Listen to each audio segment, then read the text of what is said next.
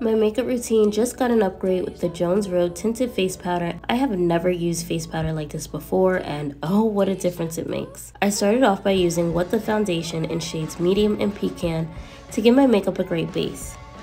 Next I'm using the newest product by Jones Road, the face powder. I'm using the shade Medium under my eyes to matte out any dewiness from the foundation and using the shade Dark for my face. I love how flawless it makes my skin look without creasing or feeling too heavy. Next, I'm adding a bit of color on my cheeks with the Best Blush and Berry.